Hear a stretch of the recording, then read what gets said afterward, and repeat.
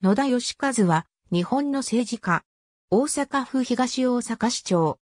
京都府京都市生まれ。大阪府立花園高等学校卒業。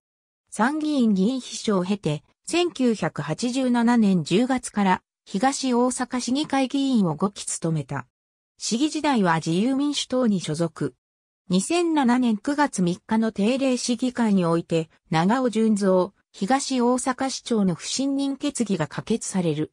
長尾は議会解散せず、同年9月14日をもって失職。これに伴って10月28日に行われた出直し選挙に無所属で出馬。長尾及び元大阪府議の西野茂らを破り、初当選した。投票率は42.06%。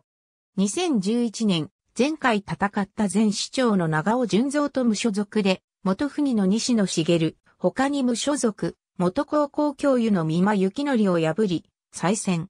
2015年、無所属で新人の元市議、浜正幸を破り、参戦。投票率は45.52%。2019年9月29日投開票の同選挙で4選。